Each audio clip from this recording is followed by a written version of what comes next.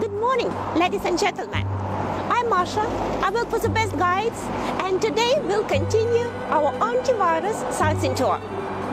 It's a lovely morning, and we are in the very center of St. Petersburg, in Nevsky Prospect. So, it's Nevsky Prospect.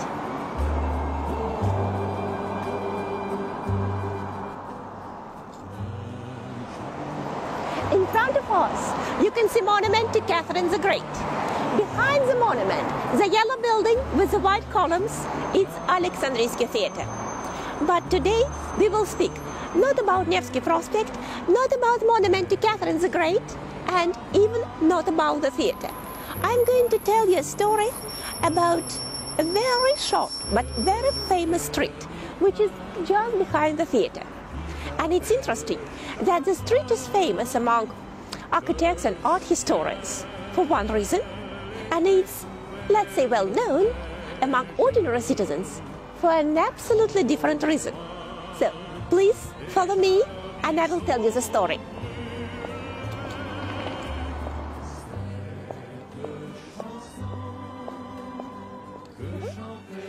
So here we are. Two yellow buildings to the right and to the left from me. They're absolutely identical. Uh, the building which is behind is the theater, which you have already seen from Nevsky Prospect. All these buildings were designed by one architect, architect Rossi, and the street is named after him, architect Rossi Street. The most famous thing about the street is the proportions. The height of the buildings is 22 meters, the width of the street is 22 meters, and the length of the street is 10 times more, 220 meters. These proportions considered to be perfect. But, as I already mentioned, ordinary citizens who are not architects, not art historians, and not professional tour guides, they know the street for a different reason. Inside of, inside of this very building, there is a place all Russian girls dream about. Okay, maybe not all, but great majority. Some dream more seriously, some dream less seriously, some are just crazy and ready to do whatever just to get in there. To tell the truth, when I was a little girl, I was among the majority. Do you understand what I'm speaking about? Do you understand what is inside? No? Listen. Yes, you're right.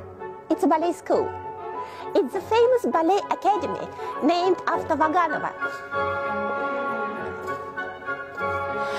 And of course, you know that Russian ballet is the best ballet in the world, and Russian ballet dancers are considered to be the best. And I would like to say that all of them are from this very school, but it's not the exact truth. And there is another school in Moscow, and it's also very good. But we are in St. Petersburg, and we are going to speak about St. Petersburg. So it's the best ballet school in Russia and the best ballet school in the world. So I also want to say that to be a ballet dancer in Russia, it's something very prestigious. It's as prestigious as to be a movie star in the US, or it's almost like to be a goddess. And now I want to show you one more place. It's over there. It's a square at the end of the street. Please follow me.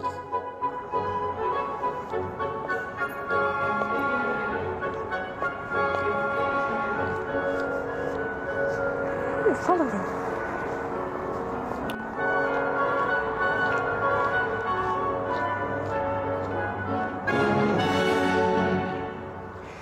So this very square is named after Lomonosov, the greatest Russian scientist.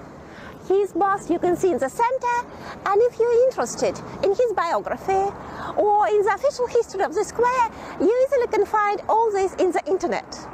I'm going to tell you a different story.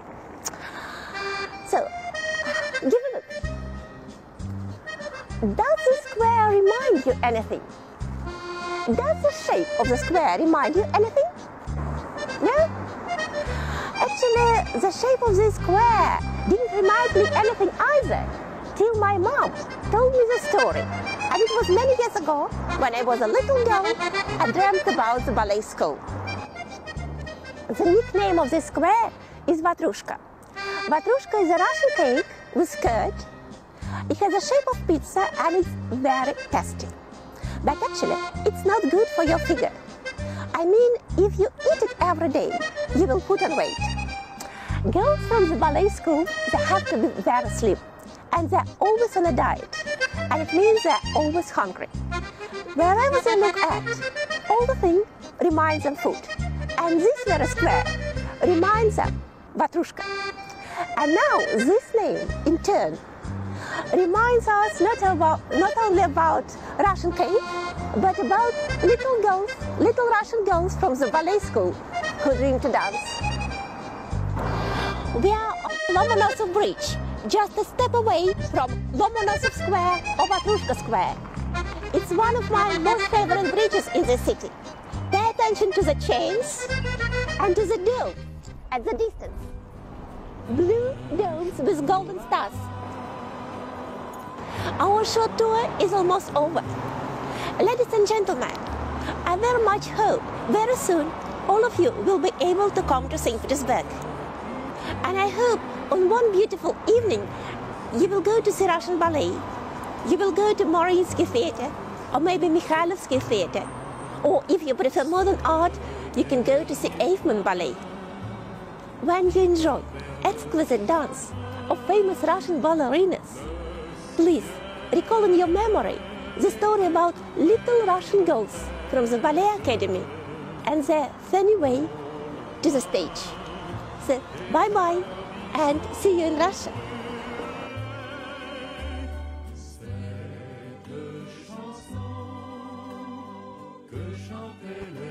soldats.